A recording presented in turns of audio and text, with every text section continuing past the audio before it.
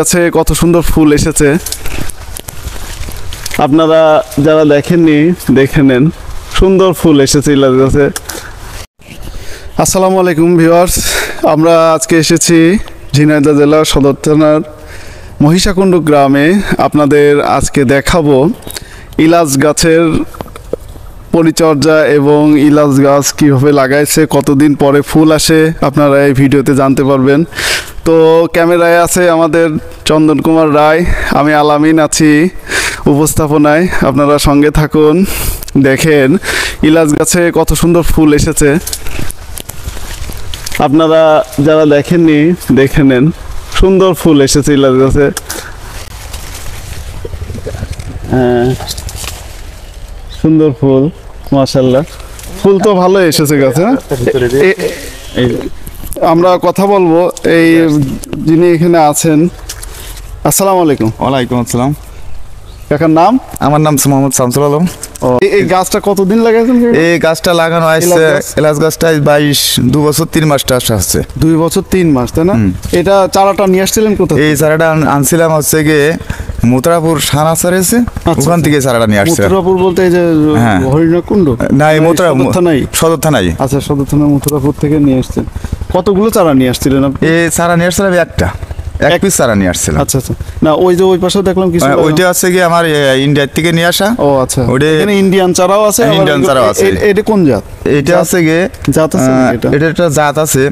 এই মানে বাইরের বাইরের এই এইটা হয়তো হ্যাঁ। এই এলাচটা বাইরের এই যে বাইরের দেশের তাই এটা। আচ্ছা, আচ্ছা। এটা খেজুরের মতো মাথায় ফল আসবে আচ্ছা। এবং ফলের ফল হবে মোটা মোটা। মোটা মোটা হ্যাঁ, হবে তাই না? এলাচ হবে।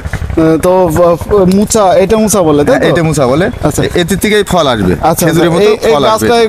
কোনো পরিচর্যা কি এই সার দেওয়া হয় মোটামুটি এই গাছে যে কমলা মালটা গাছে যে খাবার দিয়ে মোটামুটি এই গোবরের সারটা দিয়ে হলো সার কি সার দিয়েছেন? ইউরিয়া ফসফাইড পটাশ এবং গোবরের সার এগুলো দিতে হয়।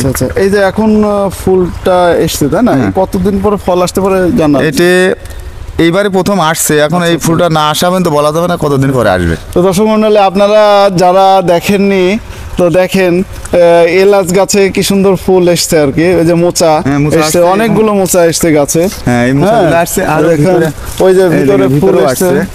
ভিতরে অনেক মোচা এসছে। এই যে এই পাশে হ্যাঁ এদিকে এদিকেও আছে। এই যে কত সুন্দর ফুল এসছে। কাছের থেকে ক্লিয়ার না? এটা দেখেন। দেখেন কি সুন্দর ফুল। এই এই ফুলের ইসে ওই গোটা গোটা হ্যাঁ। ফল আসবে তাই না? খেজুরের মতো ফল আসবে। আচ্ছা আচ্ছা। দর্শক মন্ডলী আপনারা দেখছিলেন কাকা এই- গাছের হলো কি কোনো পোকামাকড় এরকম লেগেছে নাকি?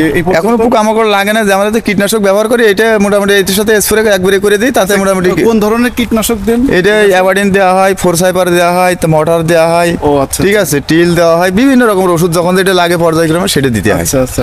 তা কোনো পোকামাকড় এখনও দেখেন না আল্লাহর রহমতে? এখন মোটামুটি গাছটা ক্লিয়ার আছে এখন পোকা মাকড়ের কোনো সম্ভাবনা নাই। তো আশা করছেন কিছুদিনের মধ্যে ফল হ্যাঁ, আসবে আশা নাকি?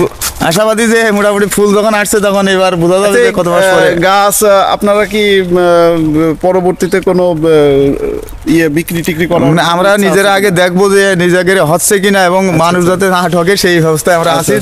আমাদের যখন হবে তখন মানুষ দেখবে দেখার পরবর্তীতে আমরা দুটা দর্শক মন্ডলী আমরা আসছিলাম আজকে মল্লিক মিশ্র ফল বাগানে আপনাদের দেখালাম এলাচ চাষ সম্বন্ধে জানালাম।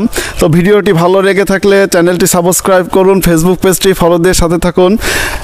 তো আপনাদের পরবর্তীতে দেখাবো ইলাজ আসলে ইলাজ কেমন হয় গাছে। তো আপনারা দেখতে চ্যানেলের সাথে থাকুন। ধন্যবাদ।